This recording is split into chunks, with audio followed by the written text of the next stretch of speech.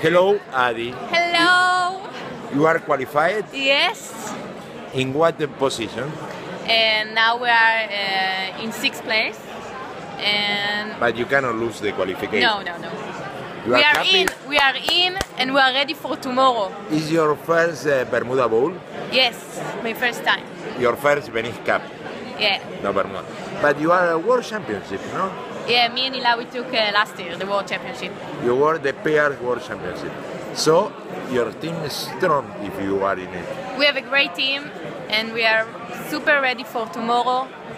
And Uh, now you, you just finished a meeting of uh, with the captain and player. How, uh, with uh, what uh, he said you? What he said to the team?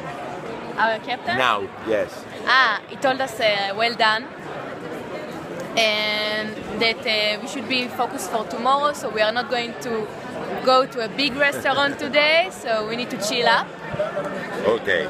That's okay. it. That you want to send some uh, uh, something to your family, to in Israel. What do you want to say? I love you so much and thank you for all the support. And I know that I'm not connection with you in these days, but thank you. And Thank you, God. yeah, The last question is the thought. Do you want to say something to Gilad? Gilad, the chairman of the Israeli Bridge Federation, and, And my partner, partner. in the mix. Okay. Thank you so much. Thank for the federation to, that support us. Yes. Ciao.